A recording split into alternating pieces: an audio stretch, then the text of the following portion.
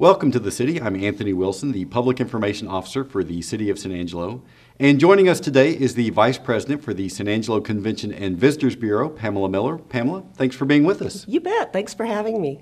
Now, for people who aren't aware of what the Convention and Visitors Bureau is and does, tell us a little bit about that. Our major responsibility is heads in beds. And what we mean by that is we are responsible for being the marketing arm of the city to potential tourists to get them to come to our area, whether that be as part of a group tour, an individual, a family, or even at times a relocation assistance. Um, we get out there and tell how great our wonderful city is and try to get people to come and stay in our hotel rooms, hence the heads in beds. Well, let's talk a little bit about uh, tourism. How important is local tourism to our economy? Oh, local tourism is so important to our community, and the better, the better we do at tourism, the better we do as a city. These folks come to our town, they pay occupancy tax to be in our hotel rooms. They also pay sales tax when they're out in our restaurants, out in our retail establishments, and spend a lot of money in our community, um, funding that normally wouldn't be here from the folks that live here. Um, it's, it's a great program to kick back occupancy tax to keep occupancy and tourism going in your community. But those other things like sales tax, those affect all areas of keeping your community going. So we couldn't do it without great tourism. So tell us a little bit about how you get the word out about what San Angelo has to offer to tourists. Well, we go to a lot of different trade shows, and, and those, some of them are consumer shows. So, for instance, we might be at the Albuquerque Balloon Festival, or we might be at the Texas State Fair. I have just returned from the Winter Texan show in McAllen to get all of those winter Texans to use us as their route home. Come through San Angelo and make a stop and see a lot about our community. We do some Facebook advertising. We advertise a lot print media throughout Texas, but we also do some national publications also, like Better Homes and Gardens, uh, Family Circle, uh, True West Magazine. And we try to be a little tease so people will get on the website or our Facebook and learn more information. And what are some of the top local attractions that you promote in order to try to attract people to come to our community? Oh, we have so many, but Fort Concho is probably the first one that comes to mind. We we're part of the Texas Forts Trail, but we have the best restored post-Civil War fort west of the Mississippi. Nobody else can say that. We have a wonderful museum of fine art that the museum on any given day is a great masterpiece, but it brings in different exhibits throughout the year, ever changing and top quality, and also a lot of great events. We have a historic bordello museum, another thing there's not many communities that have. And of course, our international lily garden. We have international acclaim, those hybrids that are from all over the world. And we have a lot of unique things like our concho pearls. Uh, you can visit a goat farm, a sheep farm, a lot of very unique opportunities. So, what are some of the biggest challenges to getting tourists to San Angelo, and how do you go about combating those challenges? We always go to a trade show with a map because people never seem to know where we're located. But it's great to start them off showing we are virtually in the center of Texas and you can get here from anywhere. Uh, we try to get them to um, learn about the secondary routes that we have to offer because we don't necessarily have an I 10 or an I 20 going through the middle of town. But the transportation to get here is very, very easy, and um, they need to come give us a choice. So, when people are visiting San Angelo for the first time, what's the typical reaction that you get from those tourists? They're always surprised. They want to come back. They want to tell their friends to come visit. One of the top reasons people come is because they've had a recommendation from friends or family that had been here before. But we're always a surprise. You know, people think of West Texas as dry, barren, and ranches and rodeos, and we have that. But we also have an oasis with lakes and rivers and international lily gardens and things that they really would not expect to see here. So, how would you rate yourself as far as your success in attracting tourists to San Angelo? I think we've been very, very positive. We've um, our occupancy has grown. um, over the last five years. We had a rough time last year when the occupancy rates were up quite a bit, and we combated that, but we've tried very hard to keep relationships strong with folks and get them to come when the rates come down later. Now, the other half of your job is trying to attract conventions and conventioneers to San Angelo. Talk a little bit about how you go about doing that. Well, we work a lot, believe it or not, with our local community and finding out what organizations our friends and peers are members of. From there, we find a lot of conventions that are regional or state conventions that we might be able to talk to the person in charge and bring them here. We also belong to organizations like Meeting Planner International, Texas Society of Association Executives, uh, Texas Convention and Visitors Bureaus. And in those organizations, we continually get leads about groups that are planning to uh, do a convention in whatever year in the future. Um, we go after that. We actually do a bid process.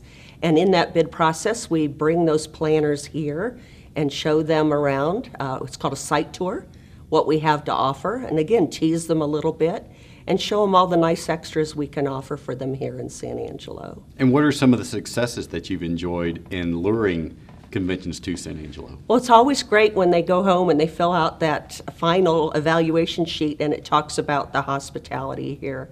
But that is probably the number one thing that we hear is how they were treated when they were here. Uh, we have actually gone after some groups that are probably a little bit bigger than we could normally handle, but we find a way here to make it work. Uh, I think, for example, the Catholic Youth Organization, and we had to use both our convention center and our Coliseum to make it work.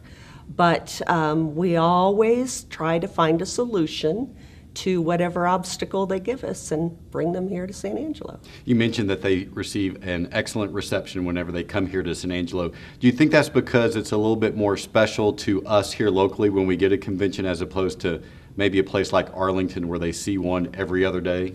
I think that's exactly what it is. You know, so often in a Houston or a San Antonio or we're in Arlington, you know, this is the way it is. Here we can put together a specialized program things that you probably couldn't do in a larger city, and we spend time with our client. Our servicing here is unsurpassed. We hear that all the time.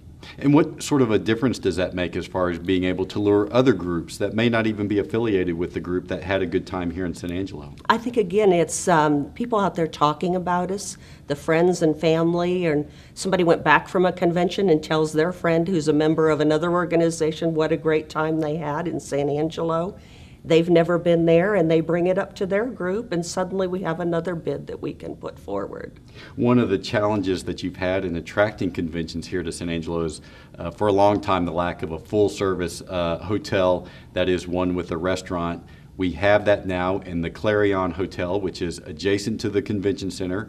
It now has the Black Sheep restaurant within it. How much of a difference do you think having that hotel located next to this facility, the convention center, is going to make in giving you a, a, bigger, maybe an arrow in your quiver in order to try to attract some of those uh, conventions to San Angelo? It's already making a difference. We're getting phone calls from groups that in the past have said, you know, that's just not going to work for us. We have to have a nicer hotel by the convention center, and now they want to talk about coming back in the future.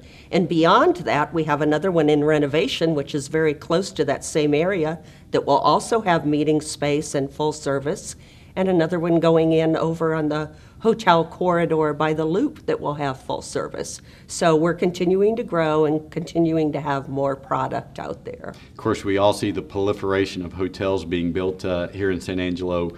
Uh, what sort of impact do you think that's going to have on your ability to attract conventions? I think it's going to be very positive. You know, we lost business, especially over peak times like rodeo, that we just didn't have enough room to put our people. Uh, when the oil business started coming in, we needed so many more rooms than we have. And now we have a great variety out there. We have a lot of different price points for people.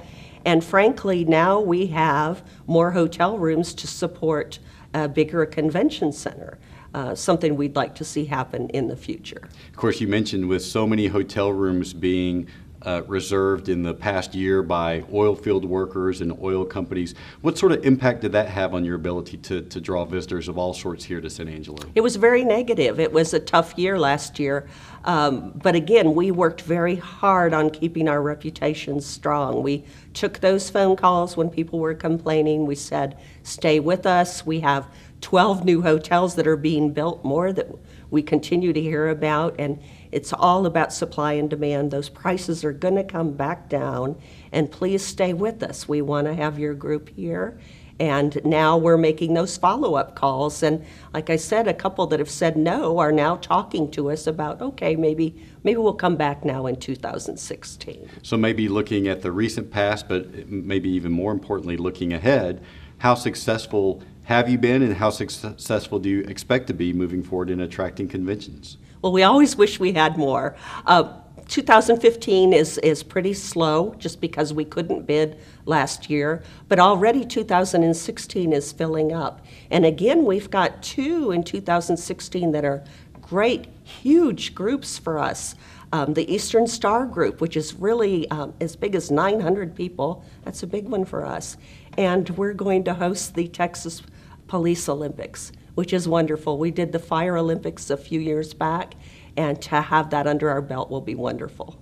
We've been talking with Pamela Miller. She is the Vice President of the San Angelo Convention and Visitors Bureau.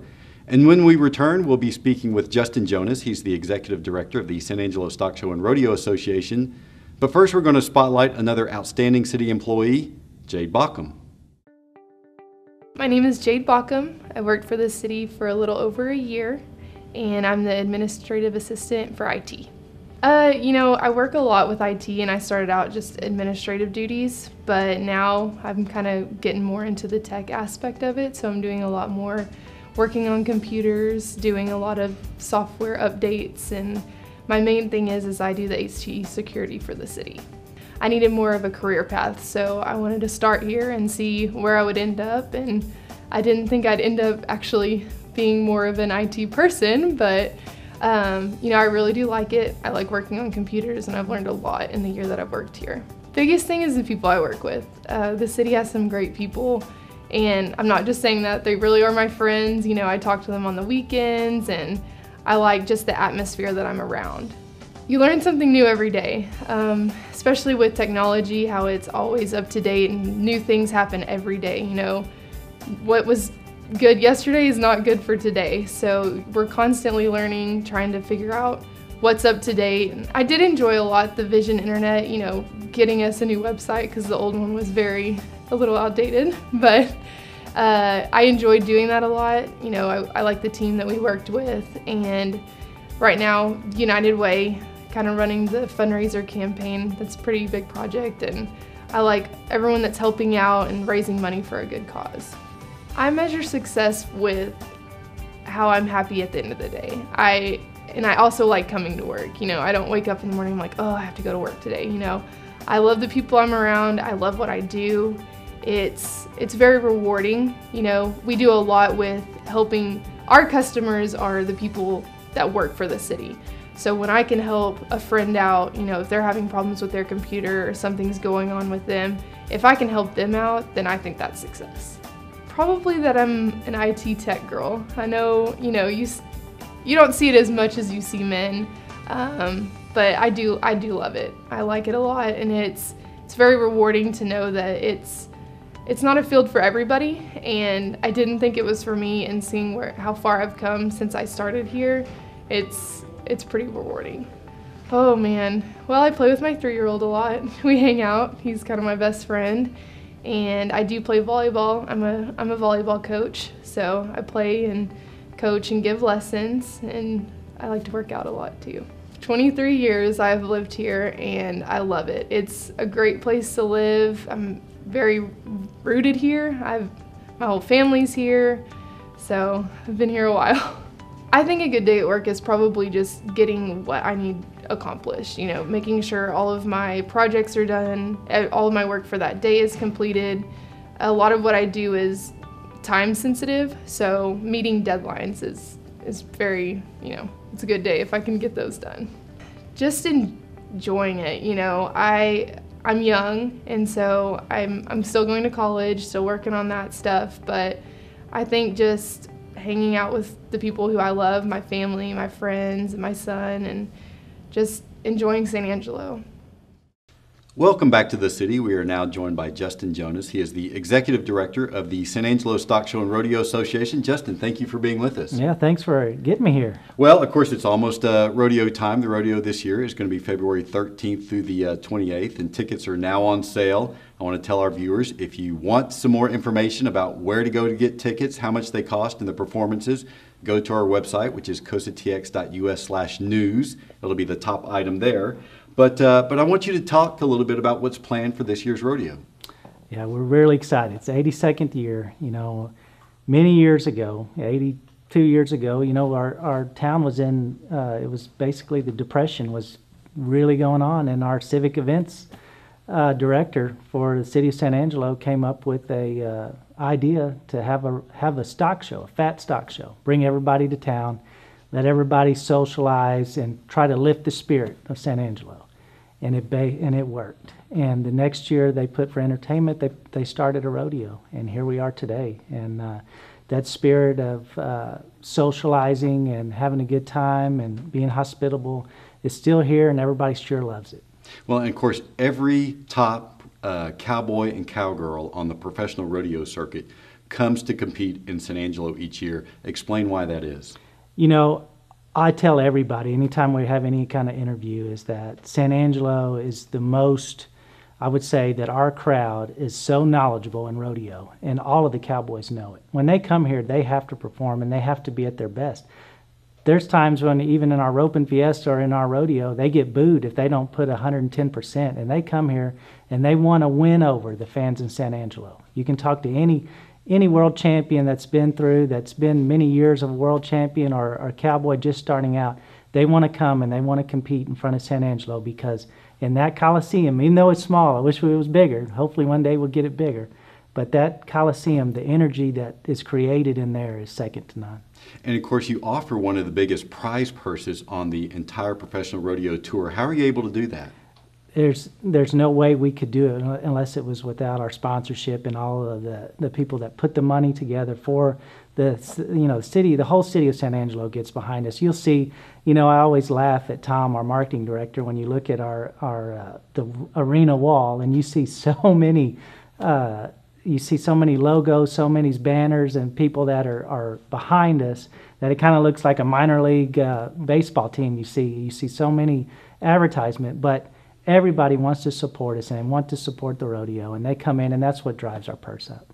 Now, this year you've uh, made some changes to the schedules to ensure that every one of those top rodeo cowboys and cow- cowgirls competes during one of your performances. Talk a little bit about what you're doing there. Yeah, you know, one of our things is we've had we're one of the only rodeos us and cheyenne that have such a large slack to where if you've got a prca card you've got a chance to come and win in san angelo.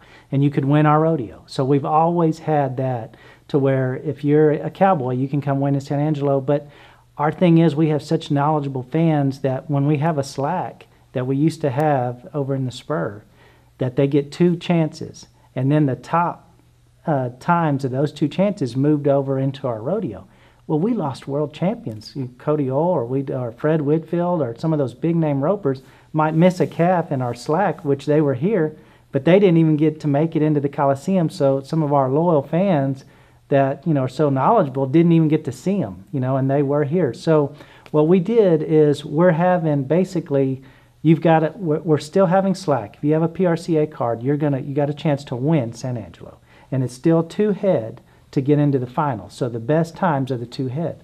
But what we did with the with the PRCA is that we allowed or we asked for the top 50 guys in the world to do their two calves or do their two bulldog and steers or do their two team roping runs or their barrel racing runs in the Coliseum. That way, those two that they get their chances are in front of our fans. So if Cody Ohl misses or something, he's going to be there the next night too. They're going to be twice in each, you know, in a performance back to back. So if they miss one, they might not make it to our finals, but at least they're in front of our fans. But at the same time, if you're just getting started and you do our slack, that's going to be in the middle of the week, if you do run in our slack and your time is the best, you can still make it to our final performance and win our rodeo. And you've got some clowns that are crowd favorites again this year over the course of your three week run. So, talk a little bit about your, your clown entertainment. Yeah, you know, we, we, we're a rodeo. We don't have our big name entertainers. Obviously, we can't pay $750,000 to have a, a huge entertainer come in because that's what they cost. Everybody wants us to bring in a, a big name entertainer to come and sing, you know, right after the rodeo. Well, they're 750,000 minimum, you know, these big names that we really want. So we pride ourselves on having a good clown and having the best rodeo that we can put forth to our crowd. And, and, and I think that we're, the San Angelo is very well known for that. But, you know, last year Keith Isley had been here many, many years, and we loved him. Honestly, I would love to have just kept him on, but he himself offered, he wanted to step out because he didn't want to get old here. He didn't want San Angelo to go, oh, it's the same old clown, you know. Possibly he wants to come back in a few years and he wanted somebody else to come in. Well, Justin Rumford, he's the, the clown of the year for the last two years in the PRCA. He's a new upcoming guy, real funny guy. And he hasn't ever been here. He wants to come to San Angelo just like all the PRCA Cowboys want to come. And we're going to have him the first weekend.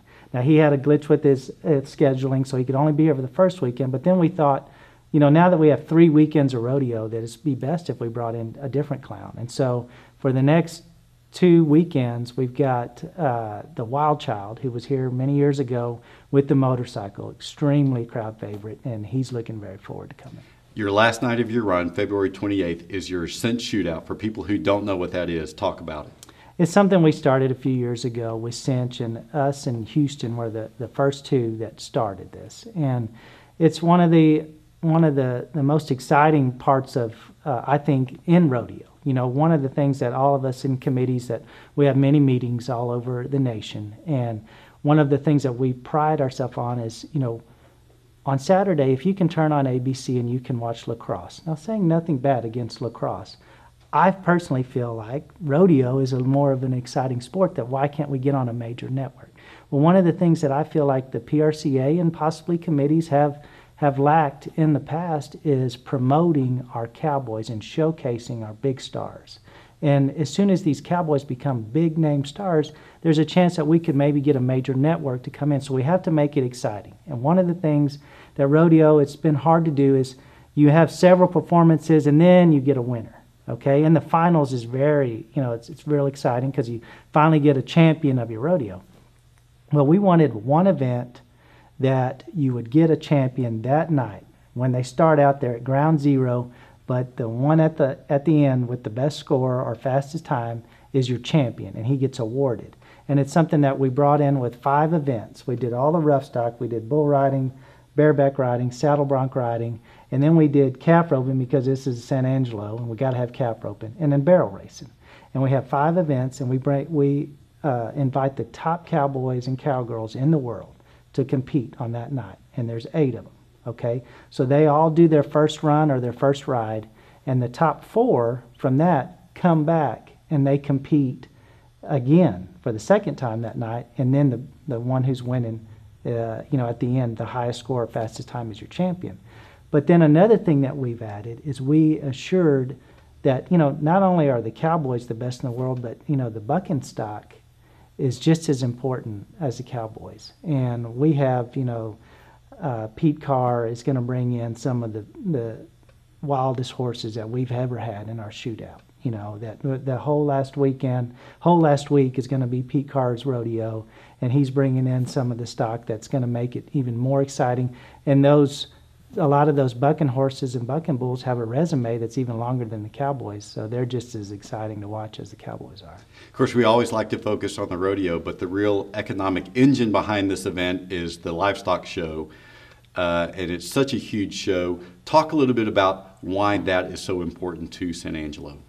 There's nothing, you know, about you. You you you hit the nail on the head right there. That the you know San Angelo stock show is the largest economic impact to the city of San Angelo. And what that is, is, you know, many years ago, those buildings that, you know, it's hard to believe they're over 10 years old now because they still look, you know, brand new and we're so proud to have them. So, because for many, many years it was just an open top barn that if it was cold, you froze, you know, yourself. And now the taxpayers uh, came together, you know, over 10 years ago and built all of those facilities.